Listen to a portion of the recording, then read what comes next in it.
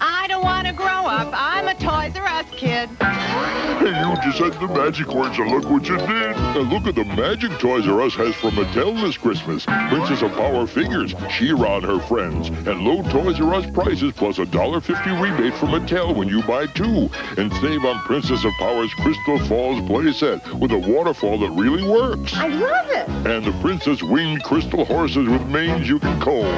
It's the world's biggest toy store. Let's go!